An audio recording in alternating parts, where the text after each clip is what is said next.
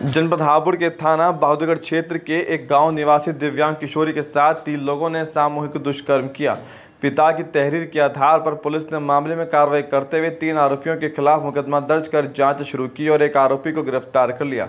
हापुड़ के अपर पुलिस अधीक्षक विनीत भटनागर ने बताया कि पुलिस ने सोमवार को एक आरोपी को गिरफ़्तार कर लिया है। फरार आरोपियों की तलाश के लिए पुलिस लगातार दबिश दे रही है। दिनांक 28 जुलाई को थाना बहादुरगढ़ पर एक व्यक्ति ने आकर के तहरीर दी कि उसकी 16 वर्षीय बालिका के साथ ने गाँव के ही युवकों ने अपनी छत पर ले जाकर दुराचार किया है। इस संबंध में थाना पर अभियोग पंजीकृत किया गया। तीन जो नामजद व्यक्त हैं, उन तीनों के विरुद्ध जो है दबिश दी गई, कार्रवाई की जा रही है। इसमें से एक अभियुक्त को गिरफ़्तार किया गया है और बालिका को चिकित्सीय परीक्षण के लिए भेजा गया है। विवेचना थानाध्यक्ष बहादुरगढ़ स्वयं कर रहे हैं। जल्दी से जल्दी शेष व्यक्तियों को भी गिरफ़्तार करके साक्ष्य के क्रम में आगे वैधानिक कार्रवाई की जाएगी।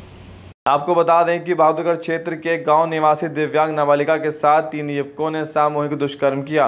बताया जा रहा है कि पीड़िता दिव्यांग नाबालिका है जो कि घर के बाहर नल से पानी पी रही थी। तभी गाँव के दो युवक बेटी का मुँह दबाकर घर के सामने स्थित एक मकान में ले गए और एक और युवक को बुला लिया। इसके बाद तीनों ने उसके साथ दुष्कर्म किया। छत पर इस घिनौनी हरकत को आरोपियों ने अंजाम दिया। पीड़िता किसी तरह से अपने घर पहुँची और परिजनों को मामले से अवगत कराया। इसके बाद पीड़िता के पिता थाने पहुँची और तहरीर कर कार्रवाई की मांग की। पुलिस ने तत्काल मुकदमा पंजीकृत करते हुए तीन आरोपियों के खिलाफ मुकदमा दर्ज किया और जिनमें से एक को गिरफ़्तार कर लिया गया है। शेष दो आरोपियों की गिरफ्तारी के लिए पुलिस लगातार दबिश दे रही है।